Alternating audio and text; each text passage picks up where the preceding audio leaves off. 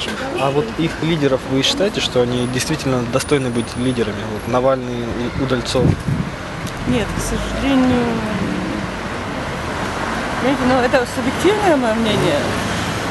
Я в данном случае не рассматриваю их как вообще кандидатов для руководства страной в той ситуации, в какой она находится.